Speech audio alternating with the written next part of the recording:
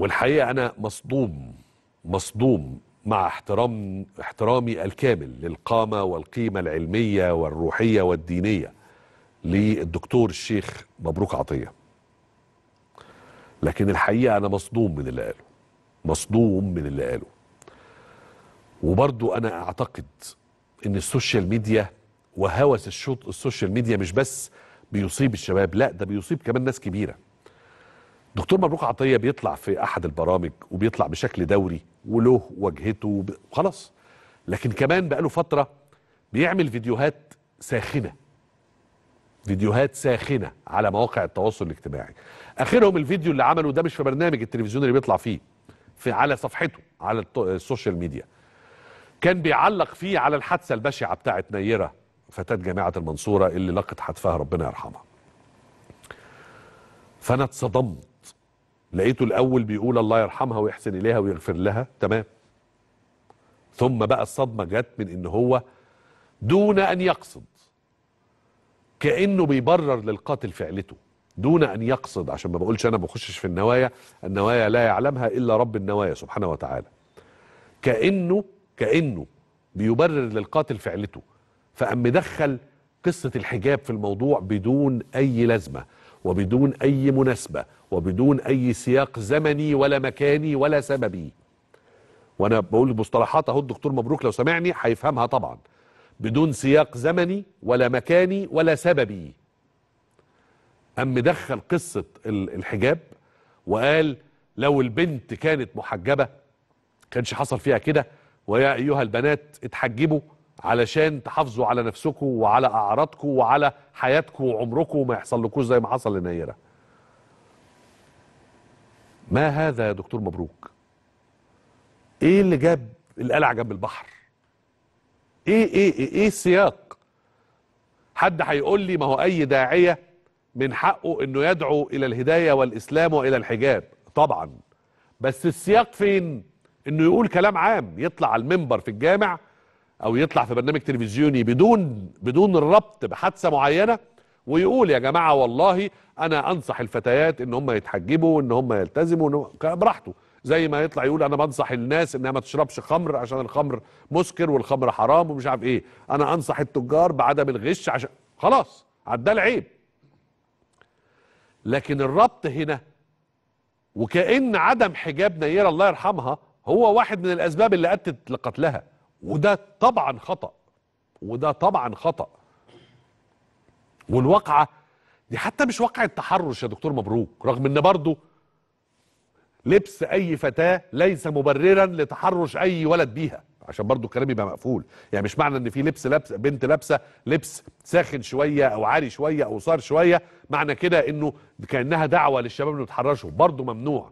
المتبرجة ولا الغير المتبرجه المحجبة غير المحجبة المنقبة غير المنقبه الست تلبس اللي هي عايزاه وحسابها عند الله. الست المرأة البنت الفتاة. ترتدي ما تريد وما تحب دون أي أحد عليها لا سلطان عليها إلا لخالقها سبحانه وتعالى. ربنا بقى اللي يحاسبنا يوم القيامة كل واحد عمل إيه. لكن إحنا مش من حقنا نحاسب حد. وبالتالي لبس المرأة أيا كان ليس مبررا أو حجة أو ذريعة لأي جريمة ترتكب ضدها بسبب لبسها قولا واحدا.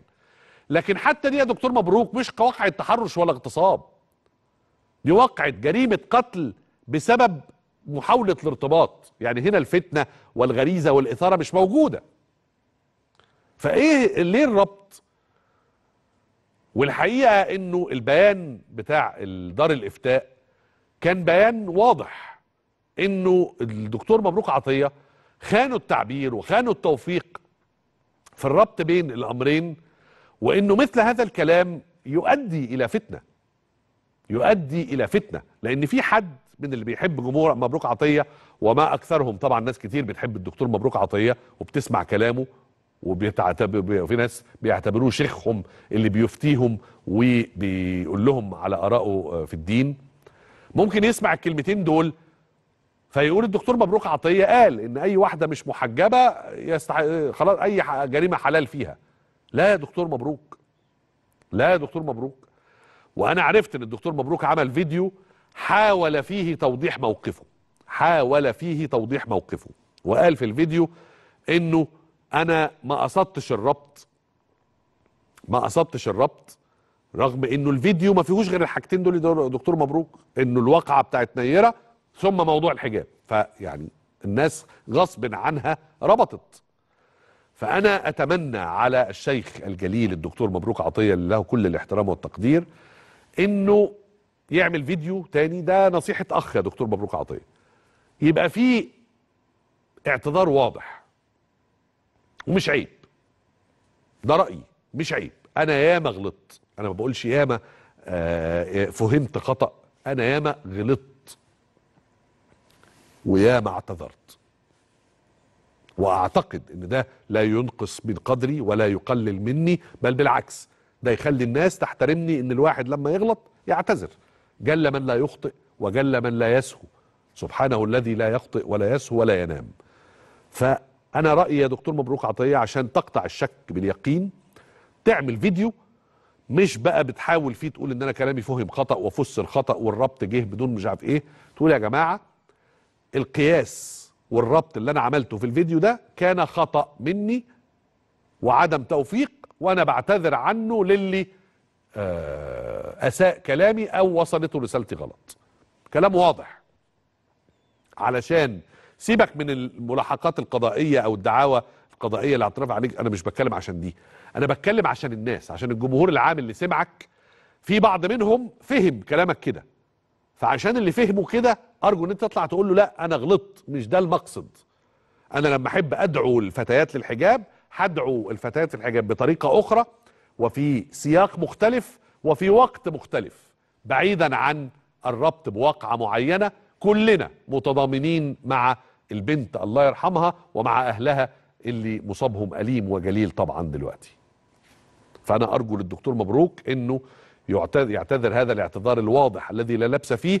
أعتقد هيهدي نفوس كثيرة جدا خصوصا بقى طبعا إن الدنيا قامت ولم تقعد منذ أن قام ببث هذا الفيديو. دار الإفتاء طلعت البيان اللي أنا قلت لكم دلوقتي على نصه أو محتواه تقريبا. الأزهر كمان قال كلام تقريبا شبه أو زي الكلام بتاع دار الإفتاء بالظبط والمجلس القومي للمرأة برئاسة الدكتورة مايا مرسي قدمت بلاغ إلى آه، سيادة النائب العام متهمة فيه الدكتور مبروك عطية باحداث الفتنة والإسقاط على حقوق المرأة المصرية في حرية ملبسها ومسكنها ومأكلها ومشربها وحرياتها السياسية والاجتماعية آه، والدينية.